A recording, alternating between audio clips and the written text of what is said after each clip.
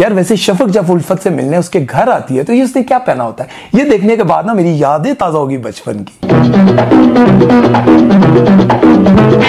Aslam friends, मेरा नाम है सुमेर और आप देख रहे हैं सभी सुमेर यूट्यूब चैनल। माशाल्लाह से इतने सब्सक्राइबर हो गए हैं आप सबका प्यार, मोहब्बत और सपोर्ट का बहुत बहुत शुक्रिया। 100 के पर एक वीडियो बनाएँगे क्यू एन ए वीडियो आपके सवाल होंगे, मेरे जवाब होंगे। तो अगर आप कोई सवाल करना चाहते हैं तो कमेंट बॉक्स में लिख दें या मुझे इंस्टाग्राम पर फॉलो करें। ये जो आपको नीचे सब्सक्राइब का बटन नज़र आ रहा है ना इसे खिंच के एक को सुन मारे और घंटा भी ज़ोर से दबा दें ताकि मेरी आने वाली हर नई वीडियो आपको बासानी मिल सके। सुमेर मैं सोच रही हूँ मैं क्यों ना एक ड्रामा लिख लूँ। ड्रामा? ड्रामा तुम कैसे लिखोगी? तुम्हें तो अपना नाम नहीं लिखना आता। एंग्लो मैंग्लो छांगला मांगला स्कूल से तो तुम पढ़ी हो। ओहो ड्रामा लिखना नाम लिखने से भी आसान है। कोई भी इंडियन फ़िल्म देख लो उसे खींच खींच के पैंतीस छत्तीस किस्तें बना लो। तो ड्रामा तैयार ये तुम क्या कह रही हो बेगम? हाँ तो तुम मुझे बताओ ये जो ड्रामा है मोहब्बत तुझे अलविदा ये उस फ़िल्म की कॉपी नहीं है जुदाई की जो तेईस साल पहले आई थी? हैं? तेईस साल पहले फ़िल्म देखी थी। तुम इतनी पुरानी हो, तुमने तो मुझे कहा था मैं सत्रह साल की हूँ। तुम्हारे जैसी लड़कियाँ होती हैं जो अपने आप को सत्रह साल कह के ना बच्चों को प्यार करने के बहाने उनके फिडर पी जाती है। 17 इन बातों को छोड़ो पहले मुझे इस बात का जवाब दो ये कॉपी है कि नहीं है? हाँ हाँ बेगम ये बात तुम्हारी बिल्कुल ठीक है। विवर्स फ़िल्म जुदाई और ड्रामा मोहब्बत तुझे अलविदा की कहानी बिल्कुल सेम है।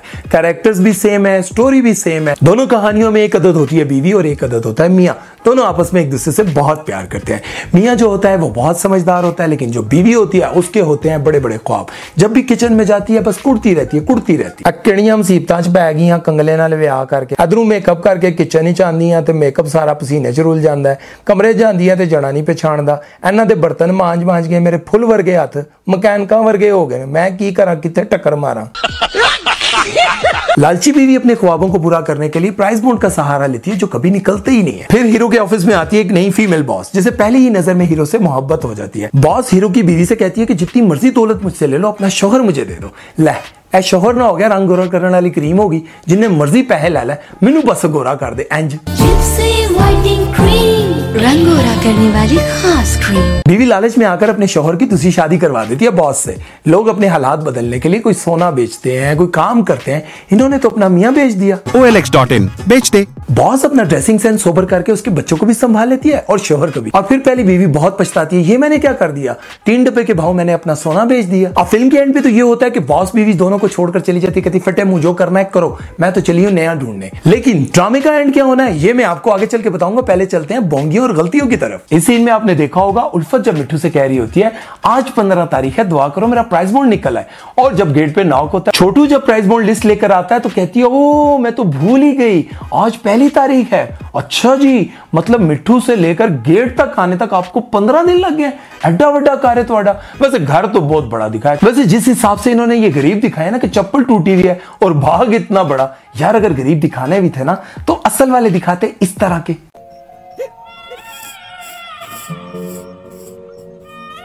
इनकी एक्जिमा की क्रीम भी अब पचपन रुपए की आती है। और रोटी दूँ बेटा? यार वैसे इस मैडम के भी क्या कहने? ऑफ़िस के बाहर जब गाड़ी में बैठी होती है तो उसने ये वाली नेल पॉलिश लगाई होती है। जब वो ऑफ़िस में होती है तो फिर ये वाली नेल पॉलिश लगाई होती है। और जब घर एंटर होती है तो फिर ये वाली नेल पॉलिश लगाई होती है। तेरी नेल पॉलिश का तकाजा क्या है? कभी नीली, कभी पीली, ये तमाचा क्या है? यार वैसे मुझे ना उल्फत से ये उम्मीद नहीं थी। नाक देखो हाथ से साफ़ कर लिए तो कमीज पुट्ठी करके साफ़ कर लेना सी। अब इन्हीं हाथों से जाके तो रोमांस वाले पकौड़े बनाएगी और वो बड़े मज़े मज़े से खाएगा हाँ क्या टेस्ट है। यार, वैसे शफक जब उल्फत से मिलने उसके घर आती है तो ये उसने क्या पहना होता है? ये देखने के बाद ना मेरी यादें ताज़ा होगी बचपन की। यार, वैसे आजकल के दौर में ऐसे मियाँ होते हैं कि बीवी कुट रही है, थप्पड़ मार रही है, गालियाँ दे रही है, लेकिन वो आगे से माफिया मांग रहा है। मुझे इसे देखने के बाद ना वो याद आ गया। इस सीन में आपने देखा होगा उल्फत जब अपने शोहर से लड़ रही होती है तो तब उसकी नेल पॉलिश ये वाली होती है।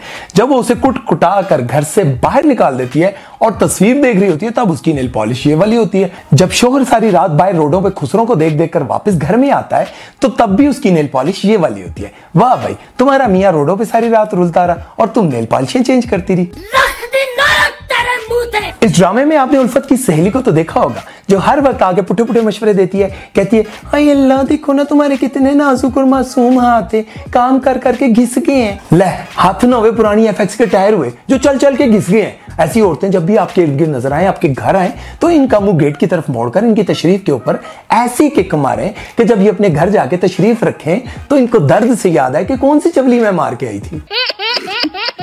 इस ड्रामे में आपने नोट किया उल्फत को बड़ी गाड़ी और बड़ी गाड़ी वालों से मोहब्बत है। जब भी बड़ी गाड़ी देखती है तो उसके मुँह से राल टपकने लग जाती है।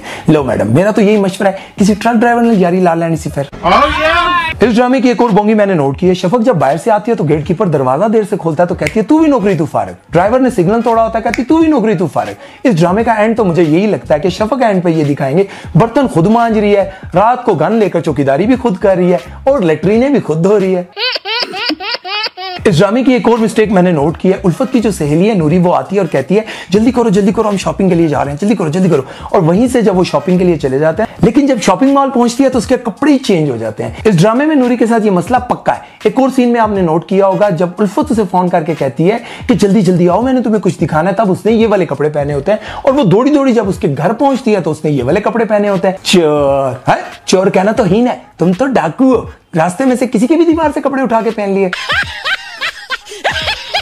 नूरी जब शफक को पहली बार देखती है तो घर आकर क्या कहती है? ओए हुए, बॉस की बेटी तो चिट्टी गोरी जैसे इंडियन हीरोइन। अच्छा। शफक जब शाहान के साथ पहली बार डेट पर जा रही होती है तो उसे समझ नहीं आती कि मैं कौन से कपड़े पहनूं। तो अमेरिका में अपने दोस्त स्पाइडरमैन को फ़ोन करती है कि अपना सूट तो मुझे भेजो, मैंने डेट पे जाना है। वो सूट पहनकर जब वो जाने लगे होते हैं तो शाहान बड़े मज़े से मर्सिडीज में बैठने ही लगा होता है तो कहती है, हैं? इधर आओ इधर आओ। कहता है, क्या हम गाड़ी में नहीं, मोटरसाइकिल पे जाएँगे? शाहान क्या तुम्हें? शक्ल से चोर लगता है? रास्ते में क्या तुमसे मर्सिडीज तुम्हारी छीन लेता? एक और सीन में आपने देखा होगा, शफक जब शाहान के साथ डेट पर जाने के लिए तैयार हो रही होती है, तब उसने ये सतरंगी कलर के कांटे पहने होते हैं और नेल पॉलिश भी ये वाली होती है। लेकिन जैसे ही वो कैफ़े में पहुँचती है तो कांटे भी बदल जाते हैं मतलब तब्दील हो जाते हैं और नेल पॉलिश भी। इस सीन में आप देख सकते हैं कि बेटा जब उल्फत को यह बताने आता है कि बारिश शफक आई है, तब उसके हाथ में कोई मेहंदी नहीं है। लेकिन जैसे ही वो गेट पर पहुँचती है तो उसके हाथ पर मेहंदी आ जाती है। लेकिन जब वो फिर अंदर आकर उसको शफक को चाय देने लगी होती है, तब उसके हाथ पे मेहंदी फिर गायब हो जाती है। यार, ये तुम्हारी मेहंदी है, या बापडा वालों की बिजली है, कभी आती है, कभी जाती है।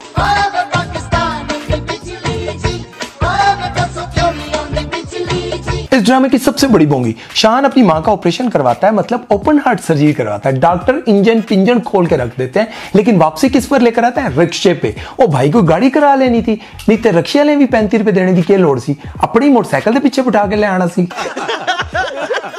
यार, वैसे आजकल ये कैसे फ़ैशन आ गया? ये मैडम, क्या आपने कांटे नहीं देखे? ऐसे नहीं है जैसे ट्रैफ़िक वालों की सीटी हो, या फिर आपकी माड़ी जाए तो वो पुरानी पुरानी कश्तियाँ हो। बिल्कुल सेम है ना? बोंगी और गलतियाँ तो हो गई बहुत। अब बात कर लेते हैं इस ड्रामे में होगा क्या। शान की हो जाएगी दूसरी शादी शफक के साथ और उल्फत को मिलेगा नया नया पैसा, दौलत, गाड़ियाँ, ठंडी ठंडी सीटें, घर में भी और गाड़ी में भी। वो करेगी खूब एंजॉय लेकिन आहिस्ता आहिस्ता उसको पता चलेगा कि इस पैसे की लालच में मैंने अपना शोहर और बच्चा खो दिया है। लेकिन होगा क्या? अब उसके पास पछताने के सिवा कुछ नहीं होगा। वो बहुत जतन करेगी शाहान को अपने हाथ में और अपने काबू में करने के लिए। लेकिन जब एक चीज़ आपके हाथ से निकल जाती है तो फिर शायद वो कभी वापस नहीं आती। लेकिन होना भी यही चाहिए, जब कोई पैसे और दौलत की खातिर अपने ही रिश्तों को ठुकरा दे तो होना तो यही चाहिए कि उसकी ज़िंदगी में तन्हाइयों और जुदाइयाँ उसके लिए एक सजा बन जाए।